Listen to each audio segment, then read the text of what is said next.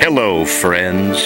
Have you ever gazed up into the night sky and wondered at the possibility of life on other planets?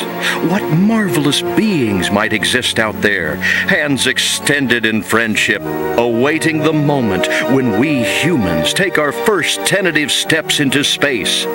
What tales will be told of that glorious day when we are first contacted by our brothers from beyond the stars?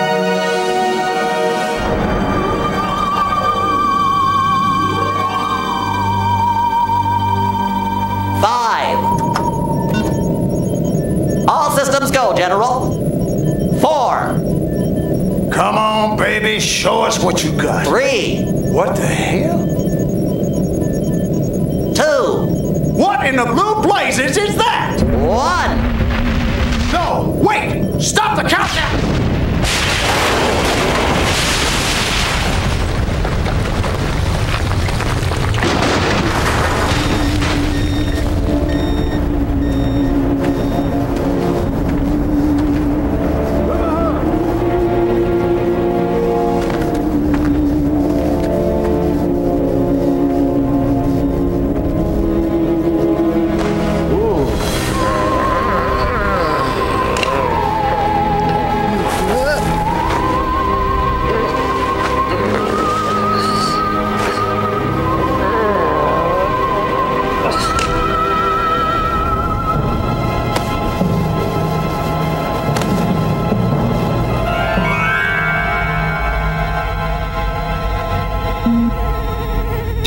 Incompetent fool.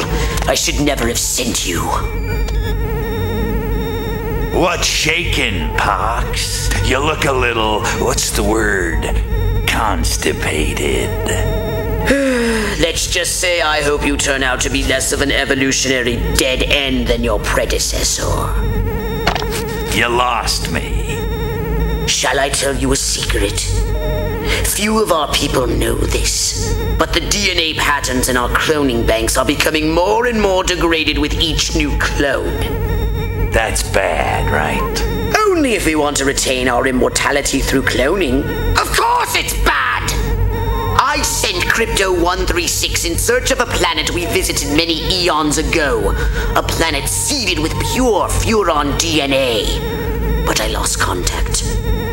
Let me get this straight. You sent me, uh, him, Crypto 136, to a hostile planet and he's disappeared. Maybe captured. Maybe even being tortured as we speak. Well, I wouldn't jump to any conclusion. I bet you wouldn't. Let me tell you something, Pox. You're a smart cookie. But there's a time for thought and there's a time for action. And this is one of those times.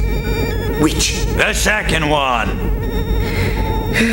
Perhaps you're right, 137. Course I'm right. You kidding me? A cryptosporidium captured by a bunch of monkeys? We gotta go in. We gotta crack some craniums. We gotta rescue me. Him. He's gotta rescue me. I mean, we gotta. I gotta. Brains, man. When do I get to blow things up? Patience, Crypto, patience. I take your point. Prepare the mothership. That's what I'm talking about. So, what's the name of this crummy planet? Our destination. The planet Earth.